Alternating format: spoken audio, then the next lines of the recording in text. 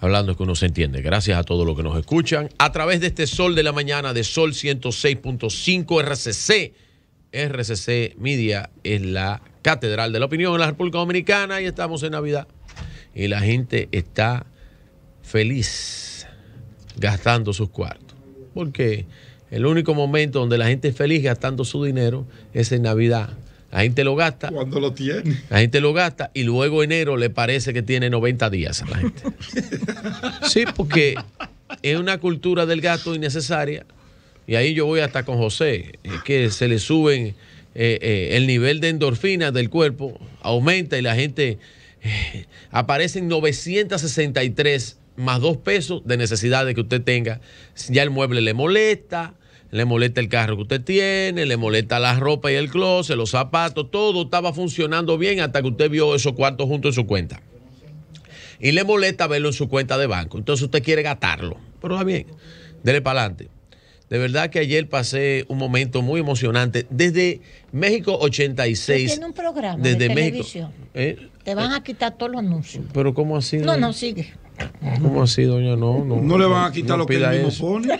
No, no, no haga Ya, eso. ya, ya, ya, perdón. mire, mire, eh, eh, desde el, el 1986, el Mundial de México, yo, yo estoy presenciando los mundiales de fútbol.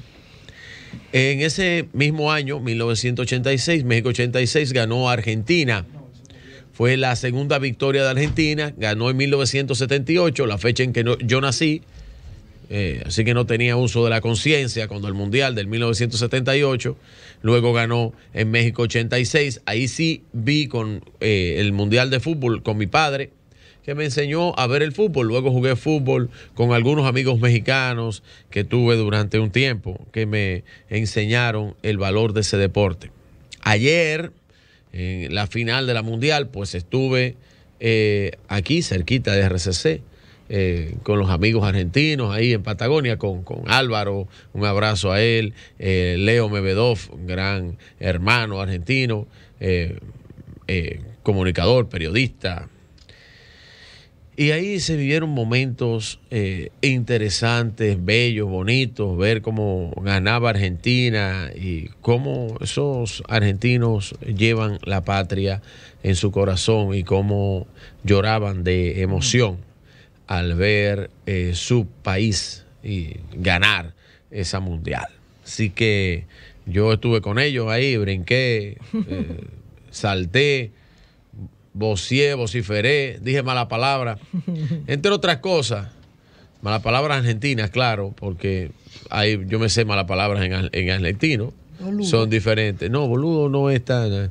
Es cuando. No le puedo decir esa porque es fea. Aunque el dominicano no sabe lo que es, pero tú le, le dices al árbitro o al. Por ejemplo, a Mbappé, ¿verdad? El jugador eh, clave de, de Francia. Mbappé. Tú le dices, un traba. Y ellos saben lo que es. Un traba. Un traba, sí. Pero eso yo le digo Y después. con solo la repito. Eh, Sí. No, no es sé, una palabrita complicada. Bueno, pero bien.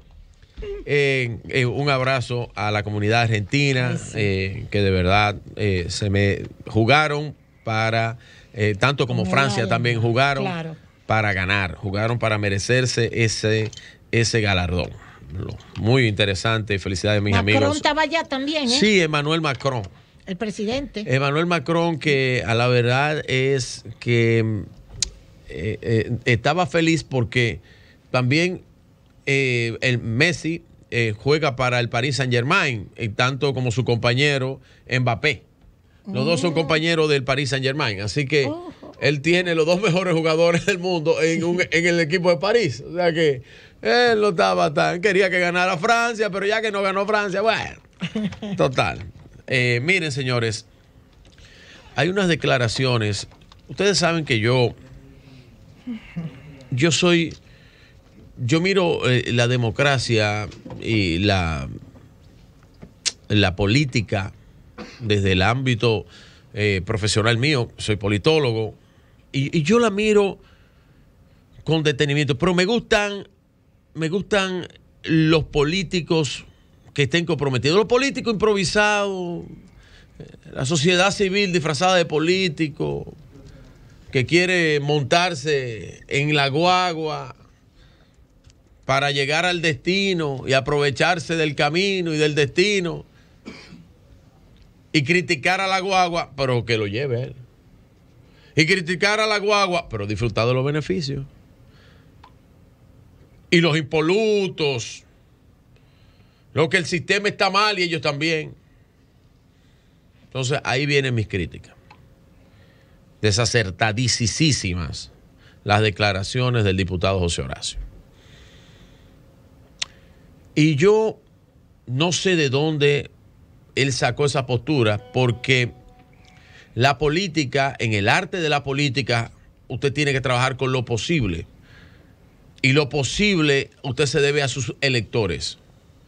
Y usted se debe a su gente, que fue que lo llevó ahí, votó por usted, eh, honorable diputado.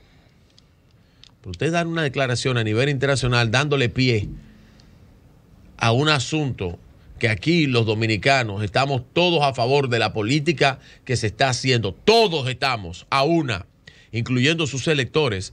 Yo me imagino que después usted se va a dedicar a sus actividades privadas, porque después de usted haber hecho esto, yo me imagino que a usted no le interesa la política. Y yo quiero ver un pedacito de las declaraciones de él para algunas opiniones que tengo que decir al respecto. Adelante. If we uh, deport tomorrow all Haitian migrants, who's going to work in our fields uh, to produce the food? Who is going to work in the construction um, sector, industry? Ce député de l'opposition n'hésite pas à accuser le gouvernement d'hypocrisie dans sa gestion de l'immigration haïtienne.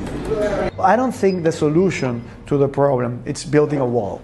I think that that only helps the um, militaries in the in the border to charge more and um, it, it makes more expensive crossing and i'm talking here about corruption Eh, para traducir a la gente lo que estaba diciendo ante medios canadienses, José Horacio, el diputado José Horacio, eh, él estaba hablando, criticando las acciones que ha tenido el Estado Dominicano con respecto a el problema con los haitianos. Él dice, ¿quién va a trabajar en, en, La- en- en la en la construcción, ¿Quién va a trabajar en el campo? ¿Quién va a hacer esto? ¿Quién va a hacer lo otro? Eh, tener una, un muro fronterizo no es la solución. Bueno, en final está, él está criticando todo lo que se está haciendo a favor de la dominicanidad, a favor del Estado dominicano, a favor de nuestra seguridad, tanto nuestra seguridad como nación, como nuestra seguridad eh, alimentaria, nuestra seguridad eh, en, eh, en cuanto a nuestras personas, en cuanto a nacionalidad. En, en fin, él criticó todo en esas declaraciones. Y lo peor es tú ir a un medio internacional a criticar las medidas. ¿Y a qué medio? Porque si usted va a, a, por ejemplo, usted se le ocurre ir a un medio de Panamá que no tiene vela en el entierro. No, pero usted va a Canadá, que tiene vela en maldito entierro Se va a secar. con el problema de Haití. No, porque ellos son los que deben cargar con la deuda de Haití. Tanto Francia como Estados Unidos, como Canadá. Y usted va a un medio canadiense a dar ese tipo de declaraciones, muy desacertadas. Y yo espero que usted sepa, señor José Horacio, que eso que usted hizo ahí va a tener repercusiones electorales para usted. Porque usted debió preguntarle a sus electores a sus electores, porque usted fue elegido por ellos, que ellos necesitan en que usted los represente, no lo que le salga a usted del forro de los Pero está y de, y de pero la mente y de sus ideas, porque ese es el problema de la independencia del maldito criterio. Y que quieren criticarlo todo, porque sí, porque no y por si acaso. Por eso no creo tampoco en los funcionarios que están ahí, que son independientes. Muchos de ellos el presidente le ha permitido participar dentro del gobierno. ¿Y tú sabes qué?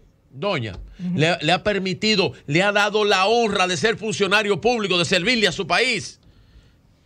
Y no están comprometidos con la obra del pero gobierno. que ahí está la ley de migración y el reglamento Entonces, de la ley de pero que migración. eso está ahí, pero Eso- él- ellos pero que ellos critican, doña, que- ellos que critican todo, todo lo que le pongan le critican. Qué pena, qué pena esas declaraciones. A mí no me da pena. Para terminar, para terminar, yo quisiera uno- unos 2030. breves, Sí. unos breves videos ahí que hay de los de, de, de situaciones que se dan en la calle en los últimos días sin audio para yo seguir hablando sobre eso. hay, ustedes se fijan, esta, la delincuencia que va a Salta, la delincuencia que va a, a las Sí, personas que están trabajando. Miren, miren esos asaltos. ahí. Eh, Ustedes ven gente que le quita la, la cartera. Que van a punta de pistola, te pueden dar un tiro, sí. que entran a los comercios. Y van, esos son, todo eso, algunos corresponden a un crimen independiente, otros corresponden a un crimen organizado. Organizado en bandas que tienen en la República Dominicana años subsistiendo. Entonces, el solo hecho de el gobierno no hacerle frente a eso lo hace cómplice. El solo hecho de cualquier dominicano que diga que eso hay que eh, tratarlo con la altura que debieran haber, que los derechos humanos, ¿dónde están los derechos humanos de esos tipos que ellos van y lo asaltan? ¿Dónde están los derechos humanos de las familias que ellos van y lo matan? ¿Dónde están los derechos humanos de los policías que caen abatidos en manos de la delincuencia? ¿Dónde están los derechos humanos en el momento que esas bandas le venden droga a los hijos? ¿Dónde están los derechos humanos? Cuando esas personas no dejan vivir a uno en, una, en un ambiente tranquilo en la República Dominicana. ¿Dónde están? En ningún sitio. Porque los únicos derechos humanos que se ven aquí y que son representados son los, los derechos humanos de los delincuentes. Los de los otros no valen. Cambio y fuera.